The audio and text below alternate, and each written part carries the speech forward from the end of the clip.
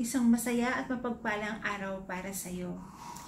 Every time na magpa-pray tayo, maybe it's in the morning when we open our eyes, di ba? We say thank you agad dun sa Lord and then we pray na for something na special na parang gusto nating makamit or mangyari on that day. And then we prophesy, di ba? We speak from our heart then we go, we open it, we declare it in our mouth that we are the highly favored of God, di ba? That we or me as a daughter, as His daughter, I am blessed, I am loved, His mercy is upon me, His wisdom, His joy, His uh, unending love is upon me, His protection, His guidance is always upon me. So as I speak, I also receive. Diba? I claim it in the name of Jesus that all those things is upon me and will be or will always be upon me. So, as we declare and speak, di ba, receive it and believe it that uh, you are anointed, that you are empowered by the Holy Spirit, by our God. So, ano, it will overflow na in your whole day, in your life, di ba? And then, it will extend na dun sa ating mga uh, fellows, sa ating relatives, family, di ba?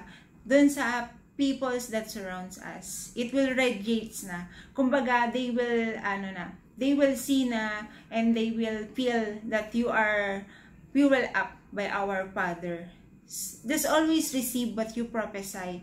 Kasi there is a power in our mouth and also there is a power in our thinking and how we react on those things. How we how we manage, 'di ba? Those uh those privilege, those gift from above. So I just want you to always uh, put the pure heart inside of you.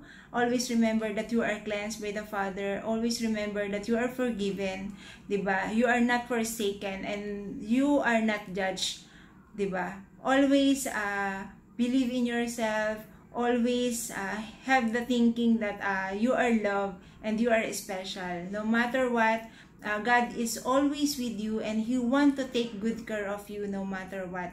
Ano man yung mga nangyari noon, it uh, you learn from it. I know and then I know that uh, you have that eagerness na sana hindi na mangyari uli yung pagkakamali na yon and then from there, 'di ba? Doon tayo babangon and then together na babangon together with God, together with our Father.